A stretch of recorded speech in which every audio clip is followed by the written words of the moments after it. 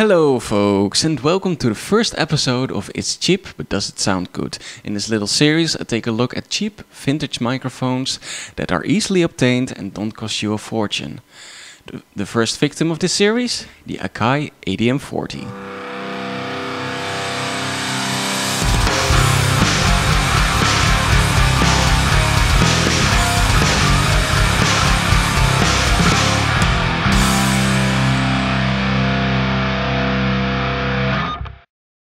So a while back I bought this microphone uh, for 10 bucks on a second-hand marketplace. I didn't have any info in, on it except for one or two forum posts. Uh, one uh, poster even going as far as to compare it to an SM57 but with, with a more flat frequency response. So as I play much more acoustic guitar lately, the first thing I did of course was try it out on my acoustic guitar. Did it sound good? Nah it was okay. Uh, the audio itself uh, was pretty defined and clear, but the uh, signal level was very low. I uh, really had to strum my guitar to uh, get a proper uh, audio level on this. So it quickly became obvious to me that this microphone simply isn't that sensitive and needs a pretty loud sound source to actually get a decent level out of this. And uh, if you don't have that, you need to put a lot of gain on it, and that brings forth all sorts of issues like a low signal to noise ratio, etc. This thing's been lying on my desk for a while now, and didn't know what to do with it till I got the brilliant idea to use it on something more loud. How about a snare drum? So luckily it was just before band practice, so I grabbed all my gear and while my bandmates were having a break, I hooked everything up and started recording uh, both a snare drum as well as a guitar amp. And luckily uh, our guitarist uh, was so nice to help me out with some uh, fantastic guitar playing. And well, here are the results. Now for the recording itself I used a Zoom H4, there's no EQ or compression or anything, this is just the dry sound from both the snare drum as the guitar amp. I tried different positions for both um, and experimented a little to see what kind of sounds I could get out of this thing. And to be honest, I was pretty surprised. Unfortunately, I forgot my camera, uh, so I drew some pretty pictures in Photoshop, so even a bass player I can understand it. Wait, I am a bass player. So I will note here that uh, a drummer has a dampening uh, ring on his snare, so his natural snare sound is already very short and tight. It's not because of the microphone. So I did six tests in total, trying different angles and positions, both on the top and bottom of the snare drum. In this first test, I put the mic about 4 centimeters from the edge at a steep angle of 85 degrees. This is what it sounds like.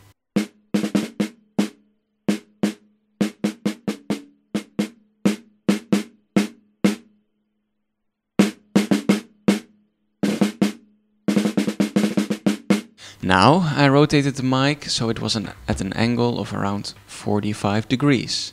Here's what that sounds like.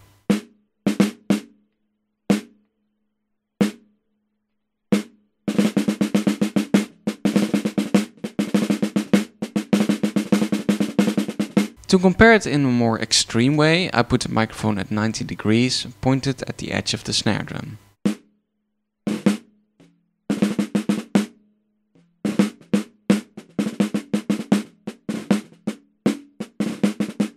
Now, of course, such a position seems rather weird, but it gave me a good chance to compare the mic to this more traditional position. This is where the mic is positioned at the edge and it's roughly pointing at the center of the snare drum. This is what that sounds like.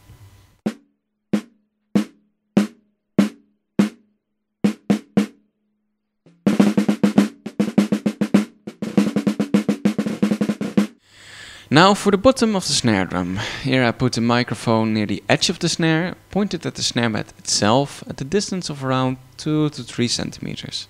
And that sounded like this.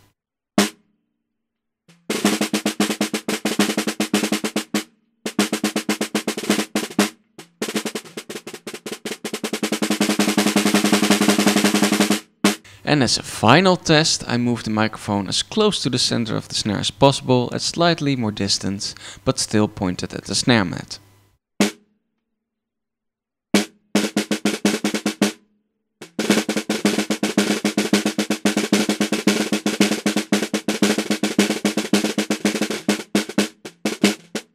And finally, I combined a couple of the samples from the top and bottom recordings to simulate a two microphone recording. And ah, that sounds pretty sweet. Have a listen. So as for the snare drum, I'm pretty impressed with the results I got out of this thing, especially considering this was done in a pretty rushed fashion. I only had the uh, practice break to uh, do all this. Um, it handles sound pressure levels really well. It gives a good clean signal at around minus 6 dB on both recordings. Uh, so I didn't really need any gain or whatsoever. Again, this is completely unedited in any way. Yeah, I'm definitely gonna experiment with this thing more on drums. Maybe as an overhead, maybe uh, as a tom mic. Um, yeah, and I definitely want to get a second one to uh, try to um, simultaneously as a, a, top and bottom snare mic because uh, combining those uh, signals uh, gives a pretty decent sound. Not bad at all. So, like I said before, I also tried this thing on a guitar amp. Um, more precisely, a Peavey 6505 Plus. And well, here's what uh, the results are. Okay, the guitar amp. For these tests I used the traditional positions for recording an amp. First up is the microphone dead center on the speaker up close to the grill.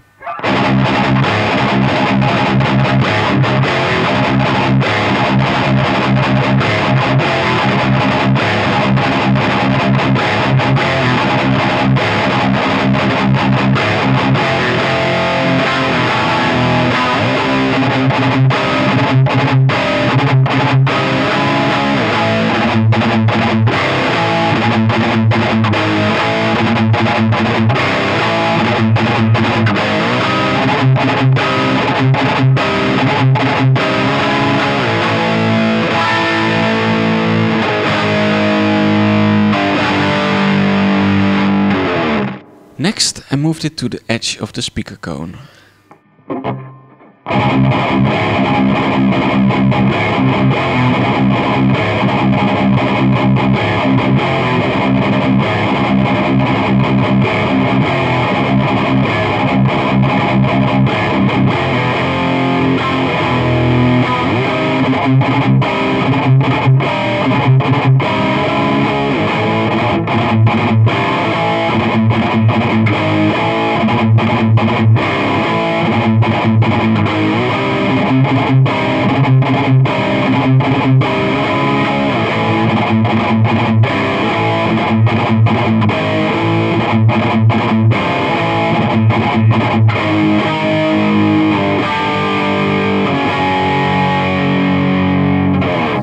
Now the other side of the cone, again near the edge.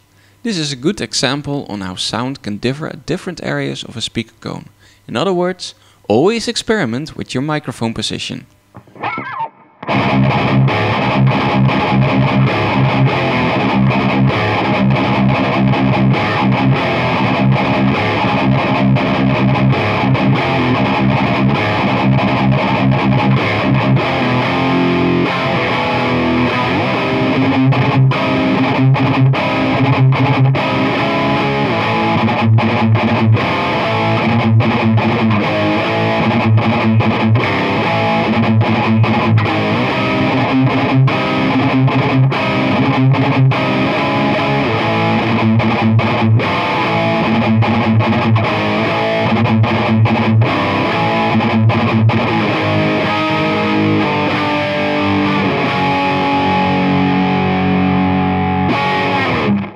Now for the next recording, I placed the microphone dead center again, but this time off axis, on an axis of 45 degrees.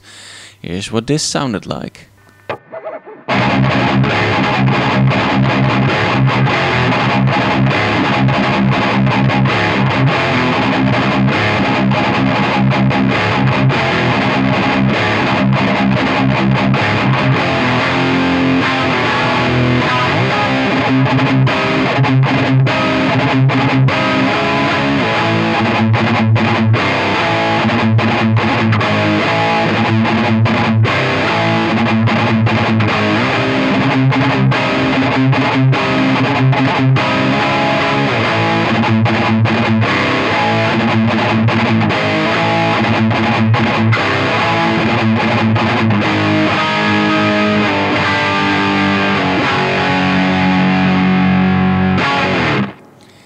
Lastly, I aim to mic dead center again, but this time at around 40 centimeters distance to get a more roomy sound. To my surprise, it was actually still very defined and direct.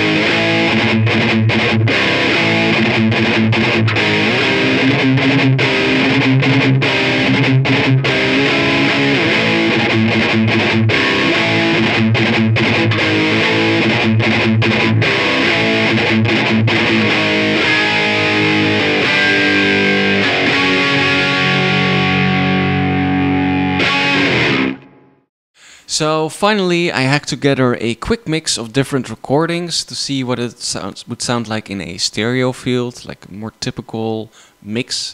I also mixed in some of the snare drum samples uh, to give a more complete image how they would sound together. And uh, well, have a listen, let me know what you think.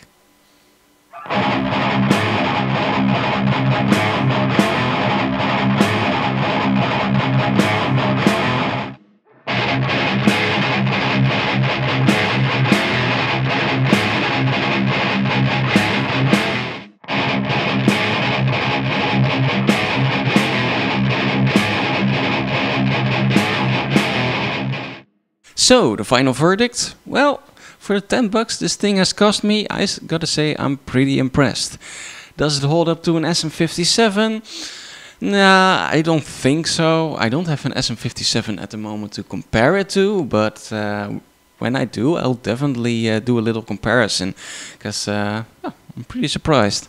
However, this thing is a tenth of the price of an SM57 and I've seen them go for even cheaper. So it's definitely uh, some, quite a good bang for your buck.